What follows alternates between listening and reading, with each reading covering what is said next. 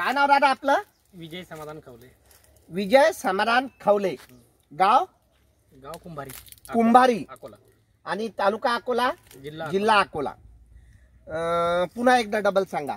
पूर्ण नाव? विजय समाधान खवले. विजय समाधान खवले. गाव कुंभारी. तालुका अकोला जिल्हा अकोला. विजय भाऊ तुम्हाला उदासी तंत्राचं युट्यूबच्या माध्यमातून आणि रोशन कृषी केंद्राचे इथे तुमचं जाणं येणं आहे तुमची मैत्री आहे. तिथून तुम्हाला माहिती पडलं.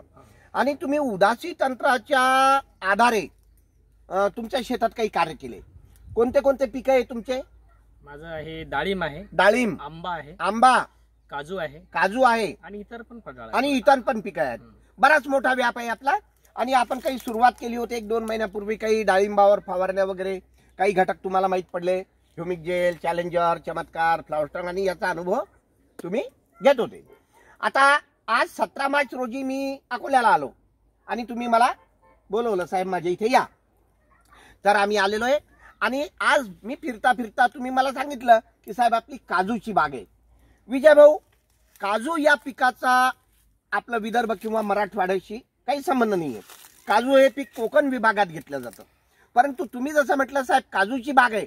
तर मला सुद्धा खूप आनंद झाला की मला काहीतरी तुमच्याकडून शिकायला भेटेल. म्हणून आज आपण तुमच्या काजूच्या बागेमध्ये आले.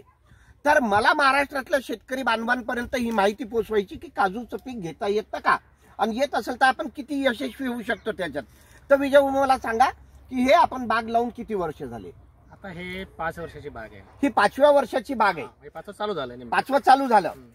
बरं. या बागेत तुम्ही लागवड केल्यानंतर किती काळानंतर फळ प्राप्ती झाली? दुसऱ्याच वर्षी प्राप्ती झाली. दुसऱ्या वर्षी फळ प्राप्ती झाली. तिसरा बार आहे. हा तिसरा बार आहे.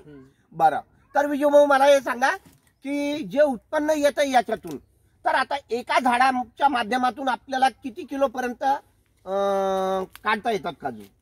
हे पहिलं सुरुवातला तर थोडे कमी आले. अच्छा सुरुवातीला कमी आहे. सेकंडला बार बी थोडा कमी या वर्षी एका झाडावर नाही म्हटलं तरी चार ते पाच किलो काजू आपल्याला सध्या? स- हे साबित मिळालं पाहिजे. हा सध्या एका झाडावर समजा चार ते पाच किलो मिळालं पाहिजे. हो. परंतु यावर्षी वातावरण खूप भयंकर अं, प्रतिकूल आहे. म्हणजे अनुकूल वातावरण नाहीये. आणि आज आपण तुमची बाग पाहतोय तर त्या पद्धतीत फार चांगली वाटते. जसं आता हे जे काजू आहेत हे जे काजूचे झुपके लागलेले आहेत आणि अजून याच्यावर उदासी तंत्राचं कोणतंही घटक घेतलेला नाही आहे तर आपण याच्यानंतर हे याला उदासी तंत्रामध्ये घेऊन जाणार आहोत. हं?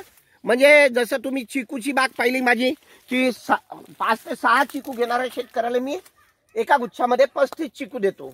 तर तसंच या काजूमध्ये सुद्धा मी क- करू शकतो की हे आपण जे सहा सात घेत आहेत तर इथे आपण पस्तीस चाळीस पर्यंत नेऊ शकतो. हा मला विश्वास आहे.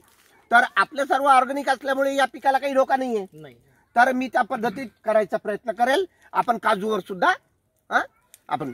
तर विजू भाऊ मला सांगा की महाराष्ट्रात मराठवाडा विदर्भात हे पीक येऊ शकतं का? खूप चांगलं येऊ शकते. खूप चांगलं येऊ शकतो. कारण की आपल्या आता हे डेमो प्लॉट तयारच आहे. बरं.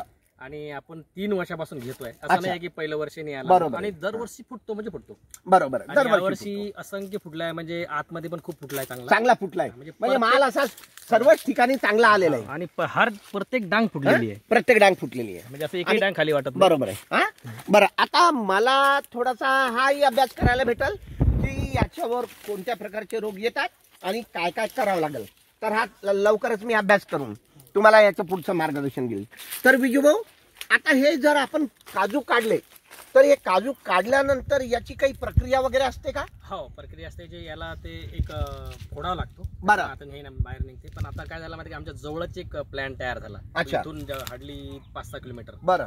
तर ते लोक त्यांच्याकडे नेला की ते आपल्याला फोडून देणार. बरं बरं. म्हणजे हे फळ तिथे नेल्यानंतर ते आपल्याला फोडून देतील. काजूची फॅक्टरी येते.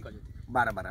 तर हे आपल्याला परवडण्यासारखं उत्पादन आहे का? बिलकुल परवडणार याच्यात काही खर्च फार मोठा आहे का विजू एकदम कमी खर्च आहे. कमी खर्च. मेंटेनन्स काही जास्त नाही याला. Maintenance याला ना जास्त. काही तुम्ही छाटणी करायचं की असं काही नाही आहे. फक्त झाड तुमचं व्यवस्थित बनलं पाहिजे. बरं. सुरुवात पासून अं, झाडाला बनवायचंय फक्त. हं. जसं माझं तर तंत्रच आहे, एक झाड बनवायचं फळफांद्या कशा बनवायच्या त्याला फुलं किती लावायचे फळ किती लावायचे ते तंत्र आहे.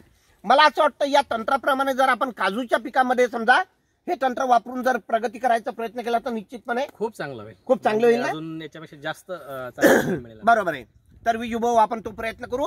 मी सर्वात आधी तुमच्या शेतामध्ये हे सर्व प्रयोग करून पाहणार कारण तुमची बाग तयार आहे. आता मी ये- येणाऱ्या काळात याच्यावर माझे सर्व तंत्र फळफांद्या कशा फुटतात फुटवे कसे फुटतात माल कसा लागतो हे सर्व आपण पाहू. आणि त्याच्यानंतर जर आपण यश आलं आपल्याला आणि आपल्याला निसर्गाने साथ दिली आणि आपल्याकडे क्लायमेट या क्लायमेटमध्ये हे सडलं तर आपण पूर्ण महाराष्ट्रभर याचा प्रचार करू की काजू आपण पण घेऊ शकतो. म्हणजे आज कसं आहे की मराठवाडा विदर्भात आपण काजूवाले नाही आपण शेंगदाण्यावाले आहोत.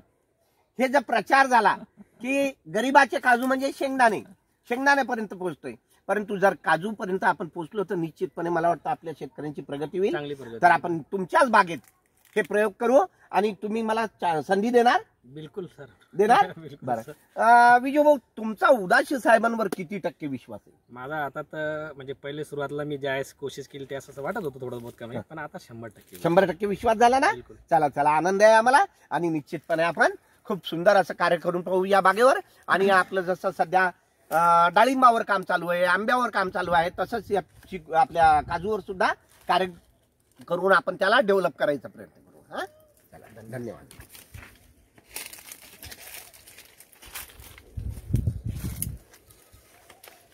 मला एक पाहण्यात आलं. मला थोडंसं